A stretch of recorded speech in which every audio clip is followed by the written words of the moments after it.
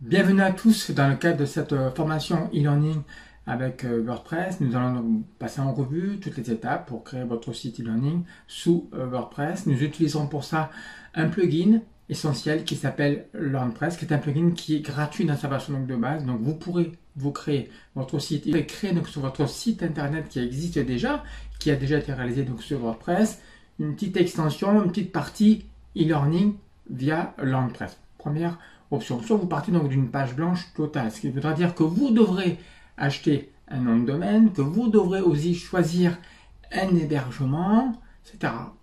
Dans la petite vidéo qui viendra par la suite, je vous expliquerai que moi j'ai choisi, enfin je travaille depuis des années avec donc deux hébergeurs, OVH qui est très très connu, qui existe qui est sur le marché donc depuis l'an 2000, et également un hébergeur suisse qui s'appelle Infomaniac. Pourquoi j'ai choisi donc ces deux hébergeurs là J'ai choisi ces deux hébergeurs là car ils donnent la possibilité d'installer WordPress en un clic.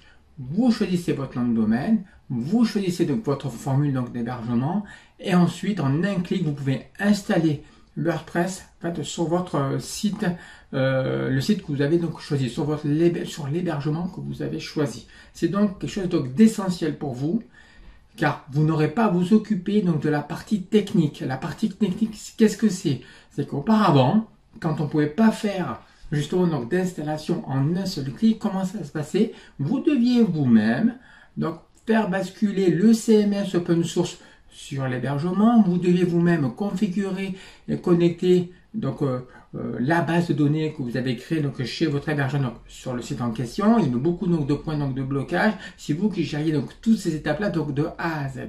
Aujourd'hui, non.